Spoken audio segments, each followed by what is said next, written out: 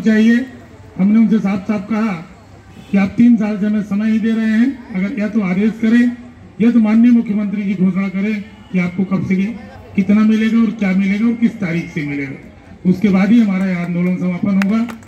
और उन्होंने कहा कि मंगलवार को बैठक है तीन बजे तो हमने साफ़ साफ़ बोल दिया कि बैठक आप लोग करते रहिए। हम बैठक बैठक में नहीं आएँगे, साफ़ इनकार कर दिए। आप अपनी बैठक करते रहिए, उसकी रिपोर्ट भेजते रहिए। जिस दिन हमारी मांग को आप मांग लेंगे उस दिन से हमारा धरना प्रदर्शन जो है वो समाप्त हो जाएगा। जब तक हमारी मांग पूरी नहीं होगी हमारा आंदोलन चलता ही रहेगा। उन्होंने कहा कि ठीक है माननीय मुख्यमंत्री जी को मैं आपकी बात को पहुँचा दूँगा। भैया संघर्ष ठीक है साथियों। मरीज़ भैया संघर्ष करो। तो साथियों अपना जो आंदोलन था जैसा था वैसा चलता रहेगा। आज पाँच बजे हमारी प्रांतीय बैठक थी एक दो दिन में बड़ा मूवमेंट करने वाले थे लेकिन वहाँ अभी आने की वजह से नहीं हो पाया है।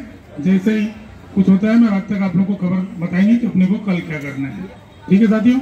मनीष भैया जिंदाबाद। जिंदाबाद।